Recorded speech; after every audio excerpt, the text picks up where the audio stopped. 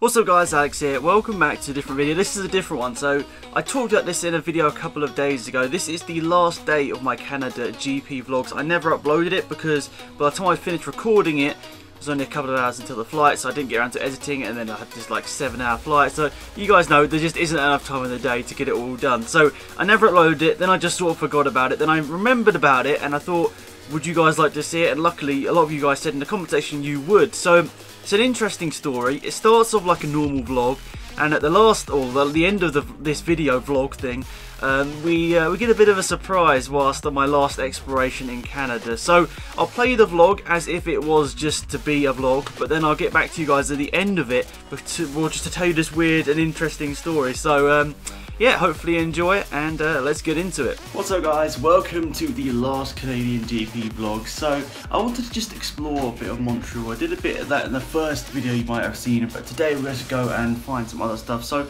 just sort of maybe like a bit of a cinematic sequence you might see in this vlog here. Just mostly for me to be able to remember this when I look back on it. So yeah, hopefully guys enjoy this. Some cool shots hopefully around Montreal. I think we're going mostly down to like the old town because I think that's where a lot of the interesting stuff is. So anyway, hopefully enjoy the video and thank you for supporting this series. I really appreciate it. Anyway, let's go.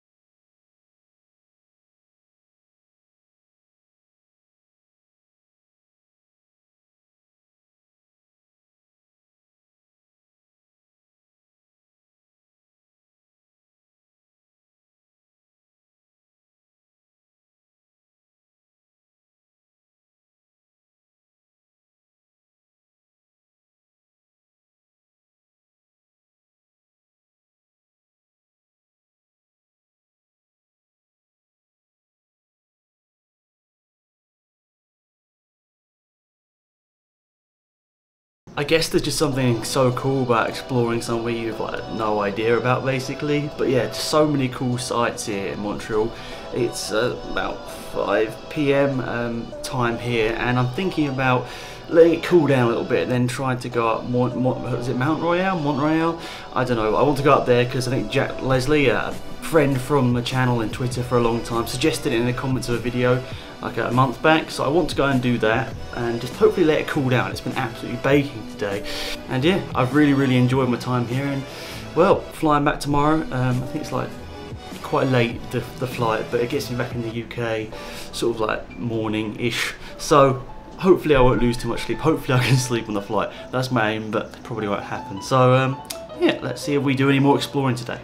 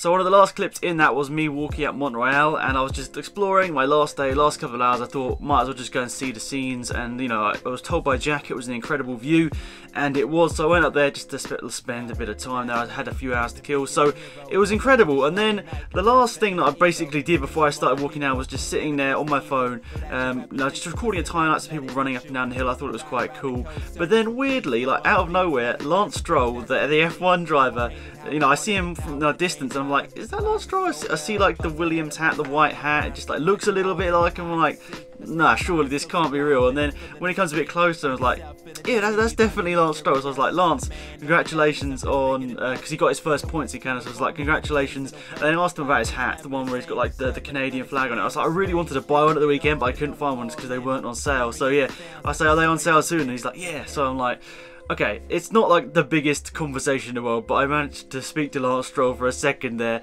um, about oh, just saying congratulations and about his hat as well. But it's just such a weird place. I never thought of all the places I was going to meet Lance Stroll, it was not going to be up a mountain. Like, really, really strange. So, cool experience for me, and obviously I got to meet him in Silverstone. Um, you guys would have seen that in the British GP vlog I uploaded a couple of days ago. That was quite cool to finally get a selfie with him. On that day, I didn't really want to bother him with a selfie because he's in the middle of a run, and it's like, probably out there training and he's got to do like target times, that sort of stuff. So like, don't want to bother him then. But it was quite cool to finally meet him in Silverstone. He didn't recognise me. I'm not surprised. Um, but yeah, it was cool to finally meet him and actually say, oh no, sort of get a picture with him, which is what I wanted for a long time because he's one of the drivers I support this season and he's doing good, which is all all good as well. So yeah, strange story. Hopefully, you guys enjoyed it. Um, I don't really know more to add. Canada was an incredible experience. Um, I would recommend it to anyone. Of course, it's not the cheapest Grand Prix to get out to, especially if you're in Europe, but it was an incredible experience and one that you'll never forget because it's just a completely different culture over there. And you get it's because Montreal is obviously in the Quebec part of the, the country where they speak French, and it's just sort of a quite a weird one. It's like a, a country inside a country because, of course, most of Canada speaks English. But then you've got this little sort of area where they all speak French, and uh, incredibly, everyone in Montreal that I spoke to actually spoke both languages, which is really cool. And lucky for me because I don't speak any French. But yeah, it's just like a really, really cool area and so many cool places to visit. So I definitely recommend it to anyone that would, you know, is interested, that has thought about going to a Grand Prix that isn't the British Grand Prix or one in Europe it is absolutely incredible. I really enjoyed my experience, and the turn one grandstands were really good as well. We got to see quite a lot of the action as well. The fans there are really, really sort of motivated for the sport and they enjoy it. I think they do like the crashes a lot as well, which um, yeah, a little bit annoying because like every time there was a crash or whatever right in front of us, they're like cheering, like yeah, oh my god. Uh, yeah, it's a little bit. I don't know. It's like cringy, but just a little bit weird coming from like Europe where people are excited about massively good racing instead of crashes. But yeah, that's my only. That was like my only criticism of the race weekend. Really was that. But um, yeah, that's pretty much it. Thank you guys so much for watching. I really appreciate it. Let me know in the comment section down below would you like me to do more vlogs for the Italian Grand Prix, which is coming later this year. I'm going to that as well, which is pretty awesome. I never would have expected to go to three Grand Prix this year. I mean, Italy was the one I was going to go to, and I was like, oh, Canada. And then British GP, obviously, with Codemasters was pretty damn epic with the, the Paddock Pass. So, yeah, sorry for rambling on.